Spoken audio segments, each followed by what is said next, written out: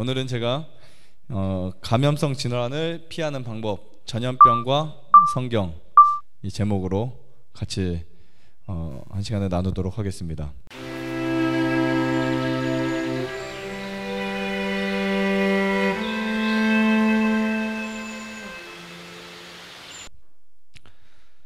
어, 이미 예고된 감염병이라고 어, 제가 생각을 해봤는데요. 성경에는 이미 이런 이야기가 기록되어 있었을까? 그렇죠? 성경에 과연 어, 수천 년 전에 성경에 기록될 때에 이러한 이야기를 써놨을까? 그 부분에 대해서 한번 찾아보도록 하겠습니다. 같이 읽겠습니다. 시작. 처처에 큰 지진과 기근과 온역이 있겠고 또 무서운 일과 하늘로서 큰 징조들이 있으리라. 네, 누가복음 21장 11절 말씀. 우리 킹제임스 버전을 보시면 온역을 역병이라고 표현됐더라고요. 역병.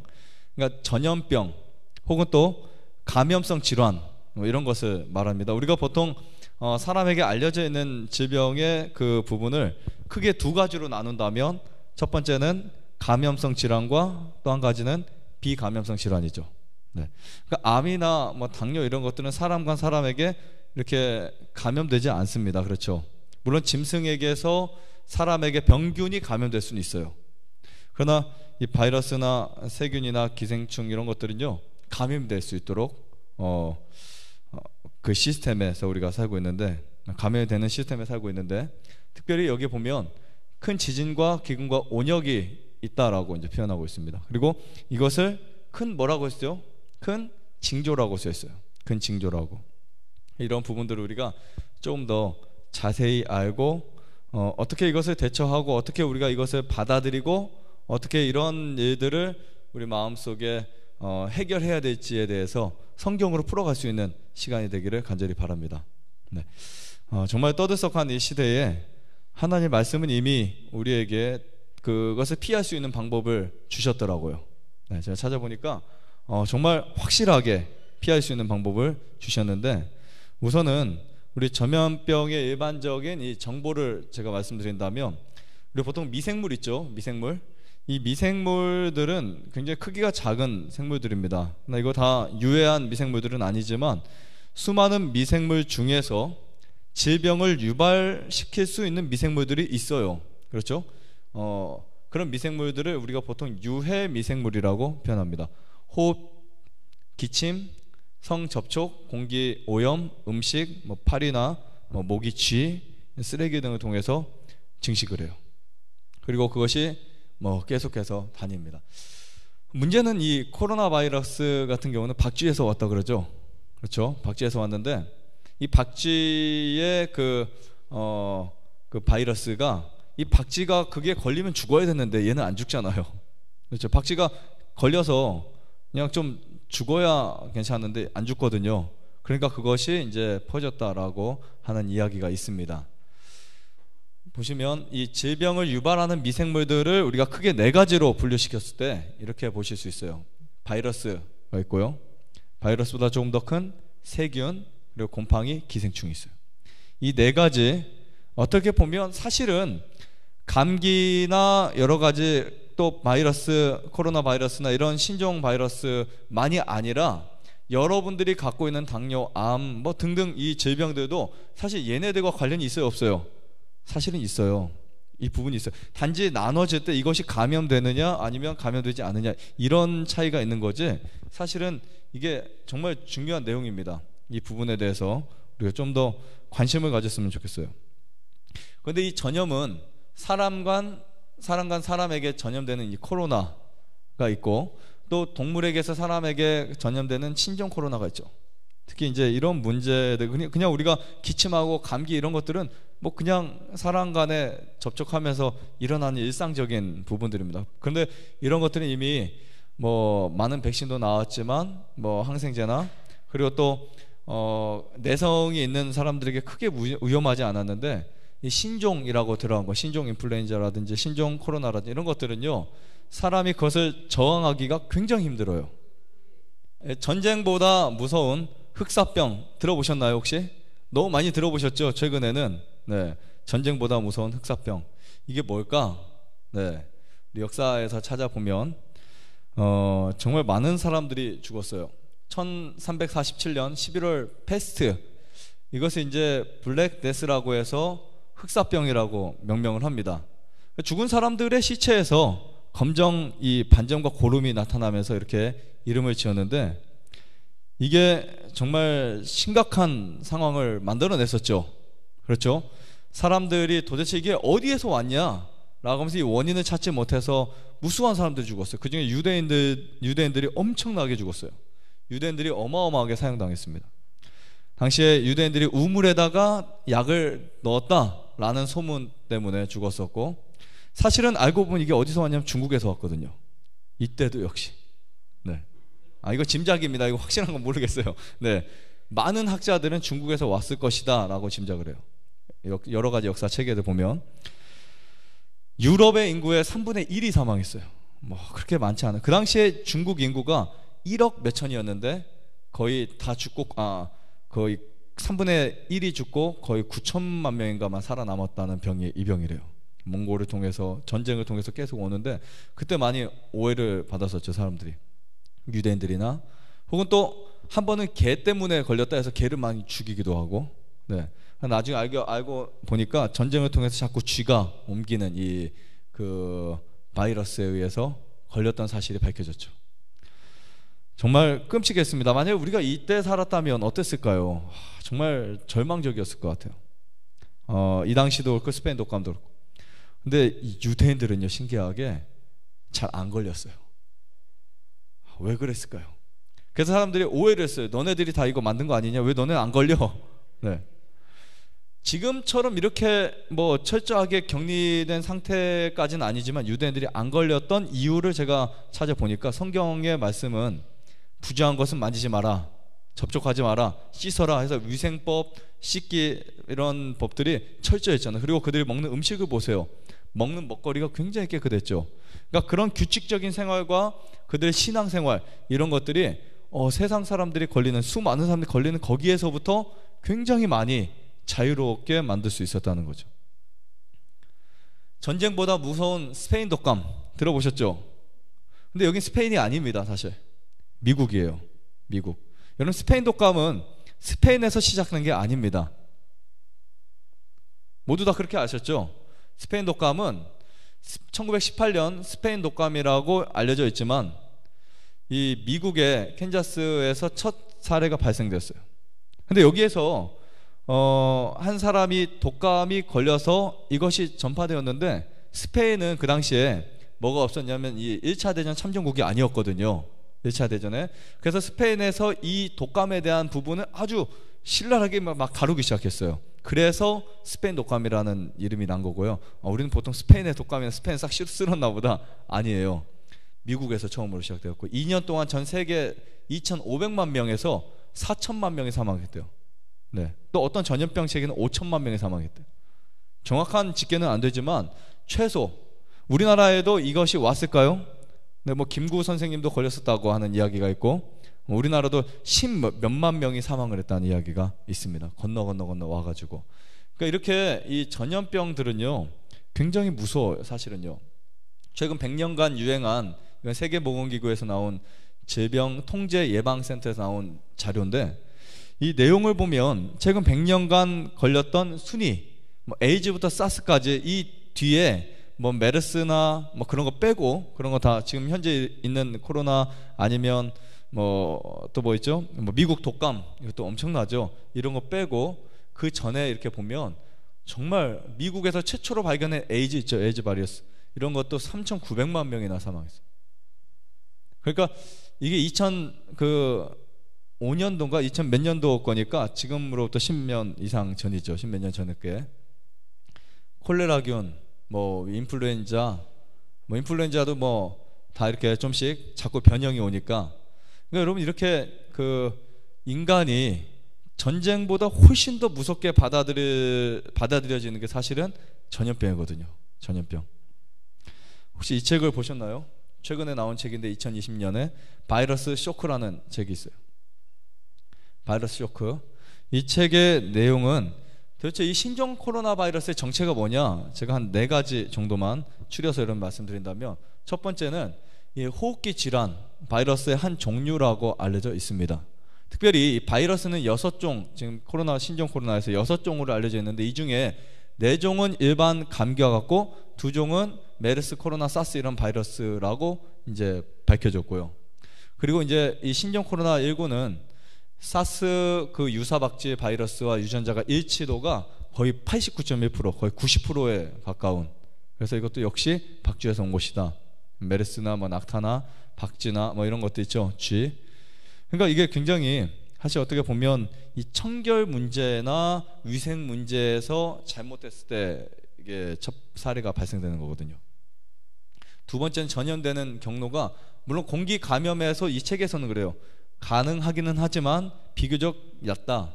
낮고 대부분 비말 감염으로 알려져 있고 세 번째는 무증상 감염자가 바이러스 옮길 수 있을까라고 하는 부분에서 이 책에는 있다고 써요. 네. 그러니까 그 잠복 기간에도 내가 기침하지 않고 뭐 열이 안 나고 안 아파도 상대방에게 충분히 감염시킬 수 있는 그런 바이러스예요. 그 다음에 이제 네 번째는 KF94 이 마스크를 쓰면 안전할까? 그거를 써야만 할까라는 이 부분을 좀 다루었는데 물론 중요합니다. 마스크 쓰는 거 우리 그제도 이제 말씀하셨지만 이 마스크 이 KF94만 써야 된다는 것은 이제 잘못된 부분이고요. 우리 보통 식약처에서 그 말한 어, 이 KF로 들어가는 마스크가 세 종이 나왔다고 했었죠. 세 종이 이 약자를 보면 코리아 필터 네, 이 약자가 이제 KF인데요. 80, 94, 99 종류가 있어요. 근데 이 숫자가 클수록 미세먼지 차단 효과는 좋습니다. 그래서 우리가 어느 뭐 사람 많은 곳에 갈수록 큰 거 쓰면 좋은데 문제는 뭐가 있냐면 이 노약자나 질병 있는 사람이나 폐가 안 좋은 사람들이 이걸 자꾸 쓰고 다니면 굉장히 빨리 망가지겠죠, 이제. 그래서 이 부분에 대해서도 여기 써 있습니다. 그러니까 참 어, 어떻게 보면 굉장히 어, 마스크를 장시간 쓰는 것 좋지 않아요. 그렇죠. 그렇지만 우리가 감염성 그런 위험이 때 반드시 써야 되고요. 이런 것들을 여러분들이 피하시려면 산에 많이 가시는 게 좋지 않을까 이런 생각을 하게 됩니다. 산에 많이 가는 거. 산소 투과율 때문에 이 부분 때문에 악화돼서 오히려 어, 더 빠르게 어, 사망할 수도 있는 경우들이 있습니다. 노약자들은 그러니까 이거를 내눈 쓰다가 갑자기 벗을 때 걸리면 그냥 바로 이제 큰일 나는 경험들 이런 것들을 이제 여기서 다시 다뤘는데요. 그래서 이제 KF 80만 사용해도 예방 효과는 있다라고 써 있는데 뭐 어떤 사람들은 그 방역 그것까지 사서 쓰고 다니더라고요. 막 이렇게 생기고 눈까지 가리는 거. 아 물론 주의해서 나쁠 건 없어요, 사실요. 자, 주의하지 말자는 게 아니라 어, 마스크를 쓸 때 또 하나의 이점 중에 이 책에서는 어, 노약자나 임산부나 어린 아이들이 장시간 썼을 때 이 산소 차단, 산소 부족 이런 부분도 있으니까 어, 산에 가실 땐 벗고 가셔도 돼요. 알겠죠? 자, 그 다음에 이 책이 있습니다. 전염병의 위협, 두려워할 일인가? 오늘 얼마 전에 목사님께서 소개시켜준 내용인데 기억나실 분들이 있을 것 같아요. 이 책의 내용을 보면 이렇습니다. 뭐 전체 다는 언급 못하지만 중간중간 제가 체크를 해가지고 말씀드릴게요. 한 해가 멀다 하고 전염병에 관한 거, 어, 뉴스가 기사거리로 등장한다. 그럴 때마다 전염병이 어떻게 확산되고 있는지 지구촌의 관심이 온통 여기에 집중된다. 하지만 언제나 그렇듯 전염병 유행이 수그러들면 전염병에 대한 사람들의 관심도 어떻게 돼요? 자연스레 수그러든다. 이거 뉴스에서도 한번 이런 말 똑같이 하더라고요. 어떤 전염병이 언제 어떻게 출현할지 사람에게 얼마나 치명적일지 어느 누구도 정확히 예측할 수 있을까요?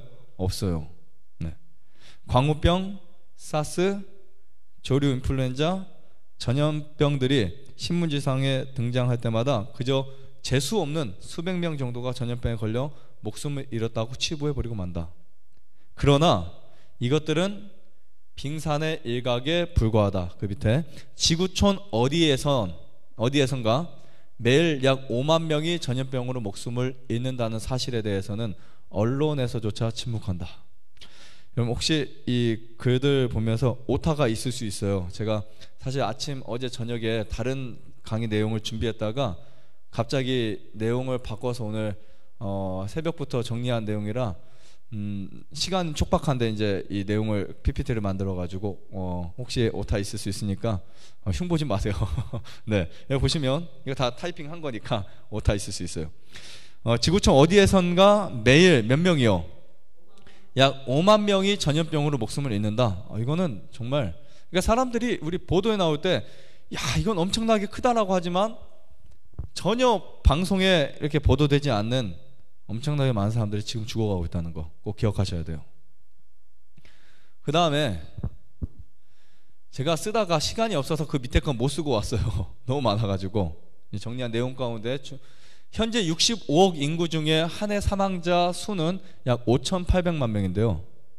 그중 1,100만 명이 5살 미만의 어린아이들이래요. 심각하죠. 이들은 대부분 몇 가지 안 되는 전염병으로 죽는다. 혹시 제가 예전에 육식의 종말이라는 강의를 했을 때 그 내용에 얼마나 많은 아이들이 굶어 죽는지에 대해서 보신 분들은 절대 육식 못 하십니다. 그거 보고 육식 못 해요. 그 다음에 여기 보시면 이들은 대부분 몇 가지 안 되는 무엇으로 죽는다고요? 전염병으로 죽는데요. 네. 자, 그 다음 119페이지를 보면 매년 400만 명 이상이 급성 호흡기 질환으로 사망한대요. 매년 매년 1,700만 명이 100일에 걸려 있고 그 중에 30만 명이 또 목숨을 잃어요. 이거 지금 하나하나씩 했을 때 어마어마한 거예요. 모으면 정말 셀 수 없습니다. 그 다음에 125페이지 보면 매년 세계적으로 1억 6천 명이 이 질에 걸린대요. 그래서 설사와 탈수와 탈진으로 100만 명 정도가 또 사망을 해요. 그 다음에 132페이지를 보면 사라진 줄 알았던 홍역이 다시 전 세계적으로 어, 확산되면서 2006년도에 집도, 그 집계된 자료를 보면 2,300건으로 늘어났어요. 139페이지를 보면 인류 면역 결핍 바이러스가 현재 세계적으로 3천만 명 내지 4천만 명이래요. 전 세계적으로 어마어마하죠. 네. 이 질환이 발견되어서 지금까지 뭐 죽은 사람들의 숫자를 보면 2,500만 명이 죽었어요. 자, 그 다음에 150페이지 결핵 있죠, 결핵. 세계적으로 약 20억 인구가 이 결핵균에 감염이 되었다가 나갔다 이렇게 한대요. 3분의 1.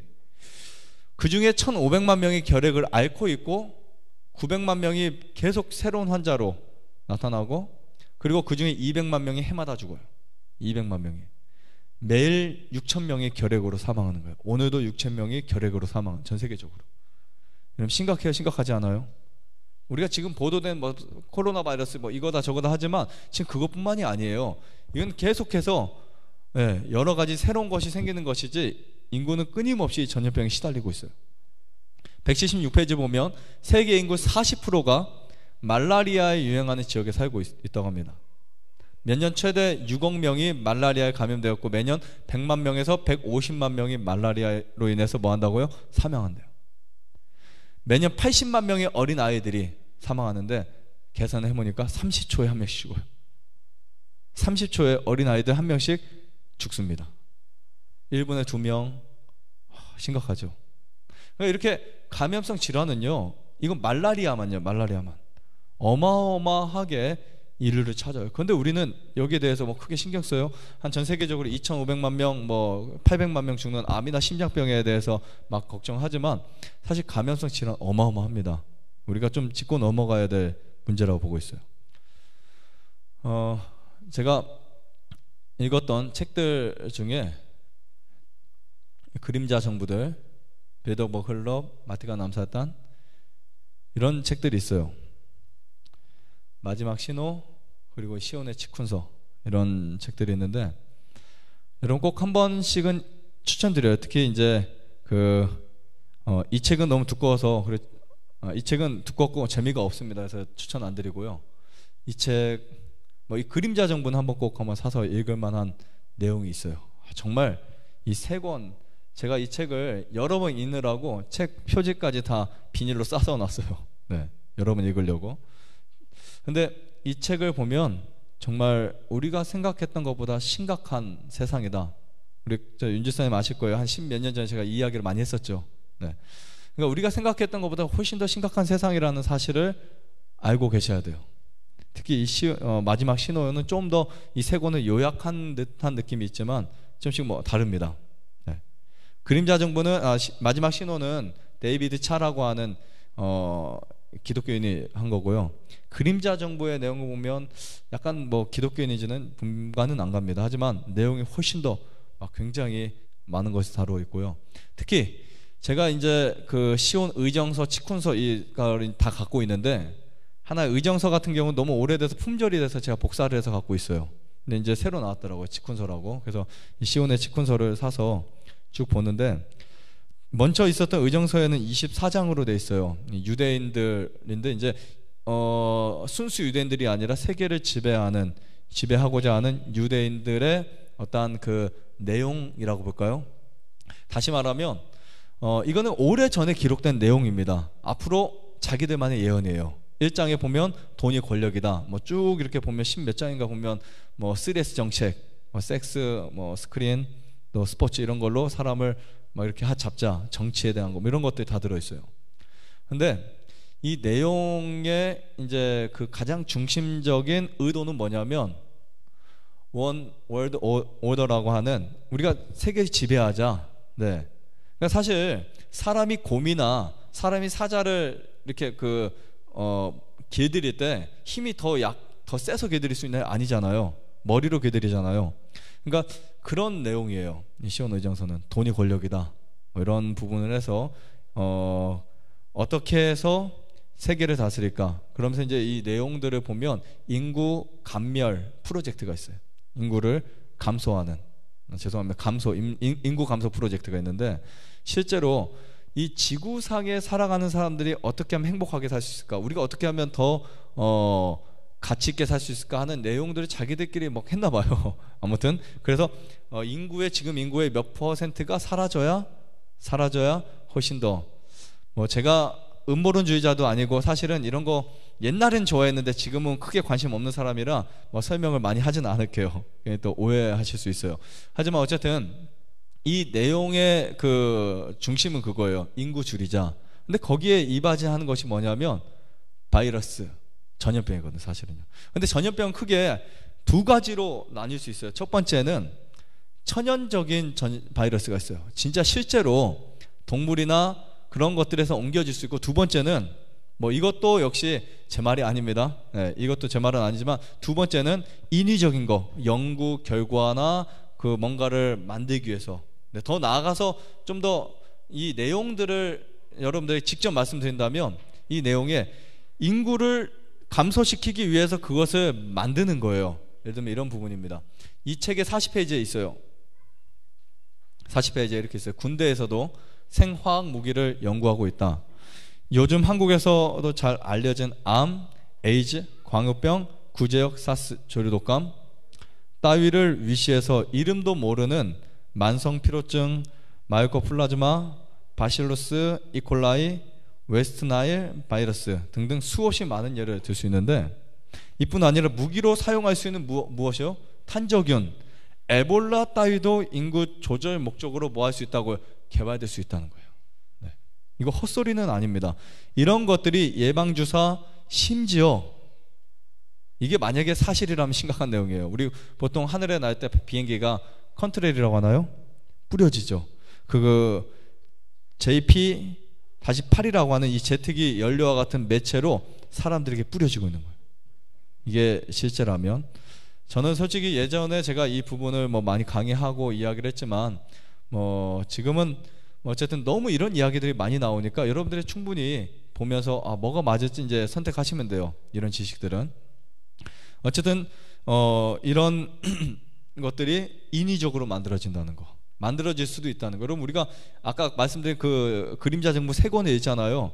심각한 이야기들이 들어 있어요. 예를 들면 스탠포드 뭐 HAARP라는 기계 스탠포드 대학에서 만들어지는 그 기후 조정이라든지 뭐 이런 것들 하, 정말 엄청납니다. 기후 조절 같은 거 여기 보시면 마지막 날 사건들이라고는 책에 이렇게 써 있습니다. 지구 역사의 마지막 장면 중 하나로 전쟁이 일어날 것이다. 그 다음에 뭐라고 써 있어요? 전염병과 재앙이 있을 것이다. 네. 왜 이 부분에 대해서 사람들이 읽었는데 귀를 기울이지 않았을까 이런 생각을 종종 하게 됩니다. 전염병으로 수천 명의 사람들이 생명을 뭐할 것이다? 잃을 것이다 라는 내용이 있어요. 외부의 세력들과 내부에서의 사단의 활동으로 위험이 우리 주변에 편만하다. 그러나 하나님의 제어하시는 힘이 아직 역사하고 있다. 자, 전염병으로 수천 명의 사람들이 생명을 뭐 한다고 써 있어요? 잃을 것이라고 써 있죠. 자, 여기 보시면 사단은 아직 준비되지 아니한 영혼들을 자기의 수확물로 거두어 들이기 위하여 천재지변을 통하여 일한다. 네. 무엇을 통해서요? 천재지변. 그리고 하나님께서 허용하시는 범위 안에서 천연계의 이변, 네, 이변이라고 써 있고, 그 다음 내용을 보면 뜻하지 않은 사고, 바다와 육지에서 일어나는 재난, 그 다음에 쭉 내려가서 보면 치명적 무엇을요? 병독을 어디에 뿌린다고요? 여러분 이게 100, 한 4, 50, 150, 160년 전에 기록된 내용이에요. 150년 전에.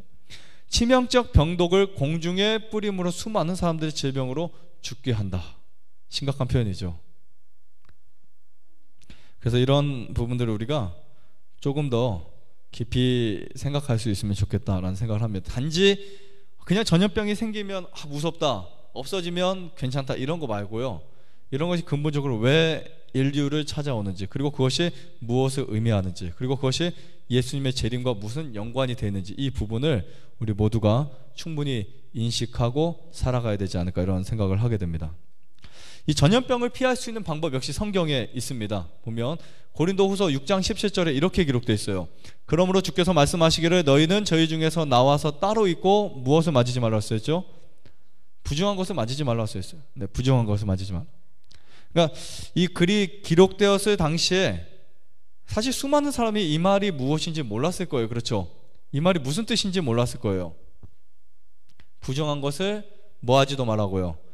우리 성경에 보면 돼지고기와 쥐를 먹는 자는 뭐 한다 그랬죠? 망하리라 그랬어요. 돼지고기와 쥐고기를 먹으면 그리고 나서 돼지는 부정하니 그 무엇도 만지지 말라 했냐면 사체도 만지지 말라 써 있어요. 부정한 것은 만지지 말라. 민수기 19장 22절의 말씀에 보면 부정한 자가 만진 것은 여기 보세요. 무엇이든지 그것을 만지는 자도 저녁까지 부정하리라 이렇게 써 있어요. 그러니까 우리 몸의 시스템을 보면 사람이 잠자는 동안에 면역 체계가 회복이 돼요. 그리고 사람의 몸에 바이러스나 세균이나 그것이 다시 죽을 수 있어요.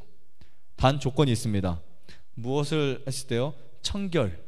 내가 만약에 부정한 사람, 여기 부정하다는 말은 뭐 크게 뭐, 뭐 어떤 부분이 아니라 돼지를 만진 사람, 아니면 바이러스나 세균에 접촉된 사람, 그런 것에 의해서 몸이 더러진 사람이 만진 것은 나도 더러지는 거예요. 그러면 그 사람에게도 분명히 어, 피해야 될 부분이 있겠죠. 그래서 성경에는 그것이 그릇이 육이면 깨트려 뭐 육이면 삶을 것이고 톡이면 깨트려 버릴 것이고 이런 이야기가 쭉 있는 거예요.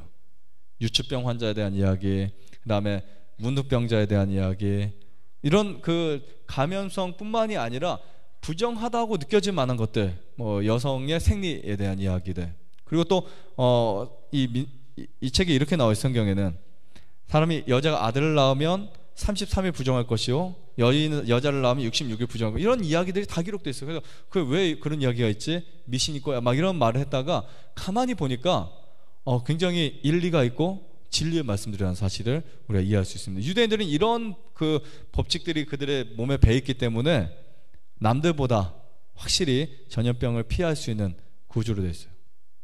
그리고 어, 저는 요즘에 그래서 이런 생각을 했어요.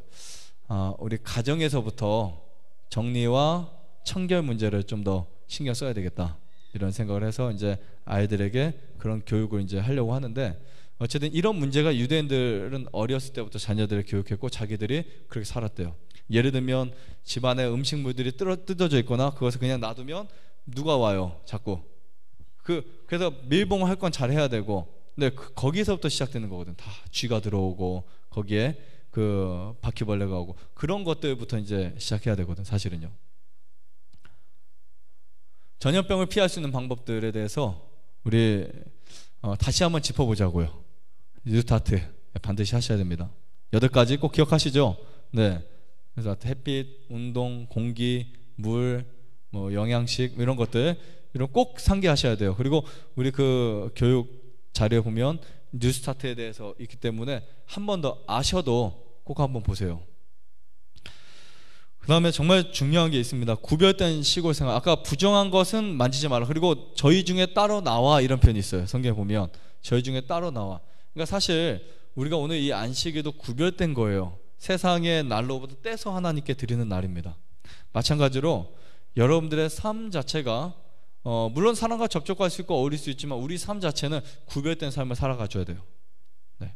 위생이라든지 개념이라든지 우리의 신념이라든지 특히 이 구별된 생활, 특히 시골 생활 그래도 참 하나님이 사람들이 인도하실 때마다 이런 표현을 했죠. 산으로 도망가라. 네. 있어요, 없어요? 마태복음, 누가복음 다 나와요. 그런 이야기가. 그리고 어, 신명기에도 내가 너에게 줄 땅은 하늘에서 내리는 비를 흡수하는 땅이라고 했어요. 콘크리트 세면 바닥이 아니에요. 비를 흡수할 수 있는 땅. 이 땅에서는 어, 수많은 세균이 살고 있지만 아까 말, 말씀드렸지만 미생물이 다 해로운 거 아니죠? 네. 정화를 시켜버려요. 정화를. 그리고 꼭 주의하실 거 면역력을 키우세요. 네. 정말 중요합니다. 구별된 거 중요하고 부정한 거안 만지는 거 중요 다 중요해요. 이스라엘의 법 중에 위생법이 있었어요. 기억하세요 혹시? 생각나세요? 위생법이라는 게 있었어요. 이스라엘 법에는 위생법이 있고 즐거움이라는 부분도 있습니다. 그래서 어, 하나님 계속 상기시켜줘요. 너는 행복한 사람이다. 너처럼 복받은 사람이 어디 있냐? 라는 이야기를 우리 신명기에서 볼 수 있습니다. 그래서 어, 이스라엘 사람들의 특징하면 뭘까요? 행복한 사람들. 이게 이스라엘 백성들의 특징이에요. 왜냐하면 이것이 면역과 관련돼 있어요. 행복하셔야 돼요. 기뻐하셔야 돼요. 즐거우셔야 돼요. 네. 어, 그럴 때 면역력이 키워집니다. 그리고 먹는 먹거리, 운동, 생활하는 그 여러분의 라이프 스타일이 면역력을 어떻게 한다고요? 면역력을 좌우할 수 있어요. 그래서 원래 전염병, 전염병에서 어, 그것을 피하기 위해서 우리 몸이 스스로 전염병에 걸리지 않기 위해서 우리 몸이 스스로 만들어내는 게 이제 면역 그 활동들인데요. 그 면역이라는 단어가 뭐라고 말씀드렸었죠? 면역은 병을 면하다라는 뜻이에요. 역병이나 전염병에서 사실은 이 면역이라는 단어가 생겨난 단어라고 볼 수 있습니다. 육류 피하셔야 돼요. 무조건. 네. 그럼 주변에 있는 분들에게 육식하지 말라고 꼭 전해주세요. 네. 허브 사용 권장, 특히 유칼립투스는요 바이러스의 최고의 허브입니다. 허브를 충분히 사용하세요. 네. 그리고 프로폴리스 꿀 화분, 이 프로폴리스 자체가요 병을 막아주는 네, 물질이 있어요. 물론 프로폴리스 꿀 화분 우리가 날려는 식물 중에 flavonoid flavonoid라든지 그 다음에 뭐 quercetin이라든지 또 여러 가지 폴리페놀 항산화 물질들이 굉장히 많긴 한데 특별히 이 벌은요 그 프로폴리스로 어떤 물질을 감싸잖아요. 속에서 안 썩어요. 신기하죠? 그 정도로 강력한 항생 물질 항암 물질 그 도움을 줄 수 있다고 이제 어, 과학적으로 입증이 되었는데 벌에서 나오는 것들 정말 좋습니다 특히 이제 우리 보통 어, 기침을 하고 몸이 약해져도 또 이제 바이러스나 올 수 있잖아요. 기침이 아니고 몸이 약해져도 그때 이제 꿀물을 한 잔 타서 드신 것도 좋고요. 꿀물에다가 유칼립투스를 딱 넣어가지고 드셔도 아주 좋습니다. 그리고 수시로 여러분들 프로폴리스를 충분히 드세요. 저희가 이것은 여기서 공급시켜 드릴 테니까 어, 안 드시는 분들이 계시는 것 같아요. 음, 좀 이제 속이 너무 힘든 분들 외에는 충분히 드시면 좋고요. 그렇지 않은 분들 또 다른 방법으로 선택하시면 됩니다. 이 화분도 면역력에 굉장히 도움을 주고요. 그 다음에 좋은 약초, 좋은 약초나 올리브유 사용하는 거 이런 것도 아주 좋아요. 그래서 제가 온나무 추출물도 말씀드렸잖아요. 그런 것들. 네. 올리브도 폴리페놀이 굉장히 많죠. 이런 것들을 자연스럽게 섭취하시면 또 레몬도 좋아요. 네. 이런 것들 좋으니까 전염병을 피하기 위해서 몸을 만들어 놓는 게 좋습니다. 그럼 무엇보다 아 무엇보다도 그 어 우리가 어떤 위기가 생겼을 때 딱 하는 것도 중요한데 그 전부터 여러분들 사실 몸을 만들어 나가는 것이 훨씬 더 좋을 것 같다고 생각을 합니다. 그 다음에 전염병을 피할 수 있는 식습관을 보면 제가 네 가지 여러분들에 꼭 강조하고 싶은 게 있습니다. 현미를 왜 씹어 먹어야 될까요? 뭐 때문에? 타액 때문에 그래요. 타액. 그리고 현미를 씹을 때요.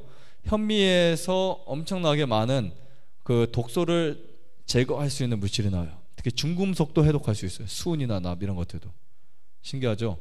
그러니까 우리가 현미를 먹게 되면 실제로 수은이나 중금 수은 이런 중금속들이 어, 해독이 될 수 있습니다. 배, 배, 배설을 시켜버려요. 배설을. 특히 섬유질이 있는 식품들의 대부분은 우리 몸을 청소하는 수세미 역할을 해요. 꼭 필요하고요. 그 다음에 이제 단식, 뭐 예를 들면 몸이 컨디션이 안 좋다 하면 한 끼 과감하게 굶어 주시고, 그 다음에 과식 꼭 피하셔야 돼요. 과식 절대 피하셔야 되고, 간식 안 하셔야 되고, 이렇게 네 가지를 잘 지켜주시면 어, 여러분들 충분히 건강한 몸을 만들 수 있다고 생각을 합니다. 특별히 육식을 우리가 끊어야 되는데 어, 이 방송을 보시는 분들에게 제가 꼭 추천해 드리는 거 돼지고기는 어, 절대 먹지 말아야 된다라고 말씀드리고 싶습니다. 여기 보시면 돼지가 역병에 걸려 있는 동안에도 팔리기 위해 준비되고 있다. 몰라요, 사실은요. 그러므로 그것들의 중독된 고기가 전염병을 퍼뜨리며 많은 사망자가 생긴다. 이거 보세요. 동물들이 병들어 있다. 여러분 이건 좀 집중해서 한번 보세요. 제가 어, 오늘 이 글을 읽을 때 좀 더 생각을 했어요. 고기를 먹음으로 우리는 우리 자신의 조직과 피 속에 질병의 씨를 심는다. 무슨 말인지 이해가 가세요? 그러니까 우리가 고기를 먹을 때 갑자기 병에 걸리는 게 아니에요. 고기를 먹었다고 해서 암에 바로 걸리는 게 아니에요. 뭐가 생기냐면 여러분들의 조직과 혈액 속에 질병의 씨가 심어지는 거예요. 이해하시겠죠? 그 다음에 환경이 바뀌어요. 예를 들면 좋지 않은 환경이 옵니다. 말라리아. 뭐 당시 이 글이 기록되었을 때 엘렌 화이트는 말라리아라는 굉장히 많은 그 유행성 그 감염병이 있을 때 썼던 글이기 때문에 사스나 아니면 코로나 바이러스 뭐 이런 것들이 유행에 접하게 되면 보다 예민하게 이것들을 뭐 한다고요? 받아들인다고요. 받아들인다는 말은 저항하지 못한다는 뜻입니다. 면역 체계가 그것을 밀어내지 못한다는 뜻이에요. 그 다음에 또한 우리가 유행성 및 전염병 전염, 전염성 질환에 접하게 되면 조직은 그 질병을 저항할 상태에 있지 못하게 된다. 원인이 있나요? 원인이 있죠. 고기를 먹음으로. 네. 그러니까 여러분 육식 안 해야 됩니다. 그렇죠? 육식 끊어야 돼요. 네. 지금 보세요. 사실은 이 재난이에요.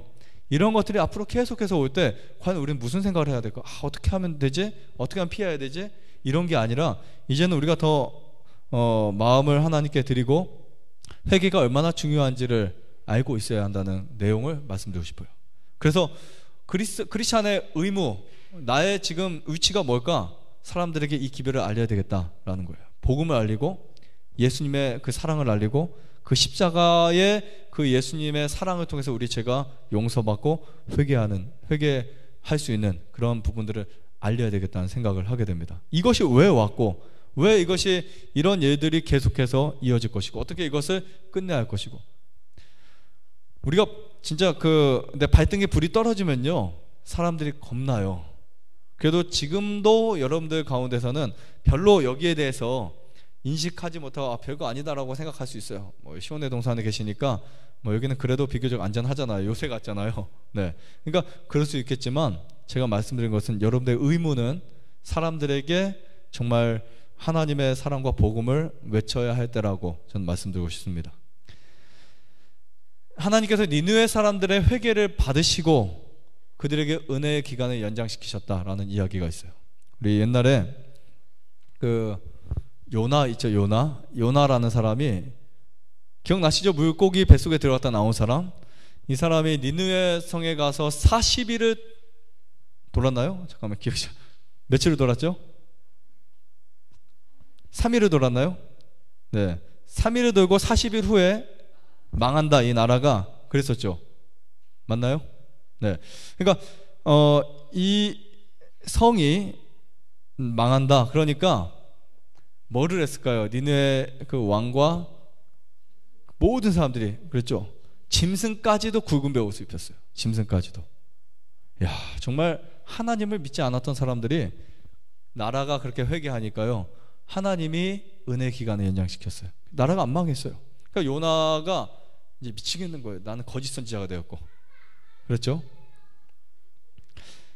하지만 중요한 것은 하나님이 우리에게 요구하시는 것은 회개다라고 이해하시면 됩니다.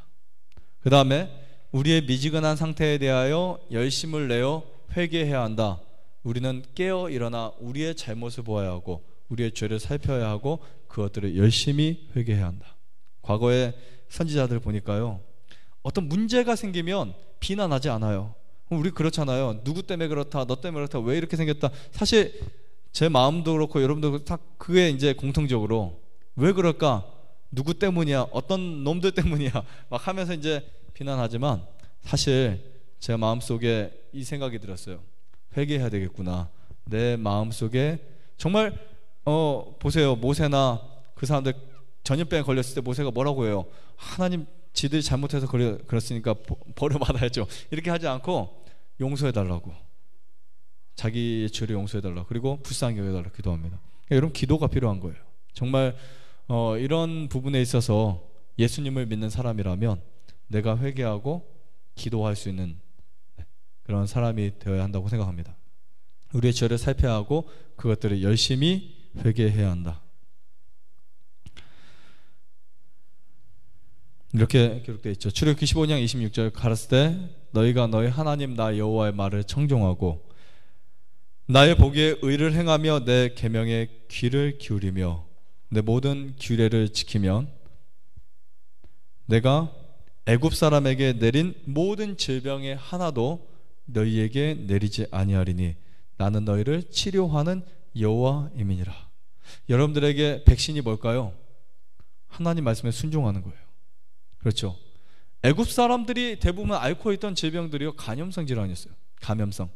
그것 때문에 굉장히 힘들었어요. 최고의 시스템을 갖고 있었고 당시에 그 당시에 애굽은 최고의 의료 시스템, 최고의 학문, 최고의 정말 지식을 갖고 있었던 그 나라가 자주 걸리는 게 감염성 질환이었거든요. 하나님 이들을 교육시키죠. 내 말에 순종하며 내 말에 청종하며 귀를 기울이면 애굽 사람에 대한 질병이 하나도 너희에게 내리지 않게 하리라. 나는 너희를 치료하는 여호와라고 약속하고 있습니다. 마지막으로 예수님의 말씀 한 말씀만 읽어드리고 마치겠습니다. 가라스대 때가 찼고 하나님 나라가 가까웠으니 회개하고 복음을 믿으라 하시더라. 네. 하나님의 나라가 어떻게 되었다고요? 가까웠다고요. 네. 때가 찼고 하나님의 나라가 가까웠으니 회개하고 복음을 믿으라. 여러분 이것이 여러분 마음속에 들어가면 힘이 생깁니다. 복음은 믿는 자에게 무엇이 된다 그랬어요? 능력이 된다 그랬어요. 파워가 될 수 있어요. 여러분들에게 오늘 우리 같이 이렇게 안식에 나눈 말씀들이 힘이 되시고 용기가 되시고 무엇보다 생명이 되시기를 간절히 바라면서 마치도록 하겠습니다.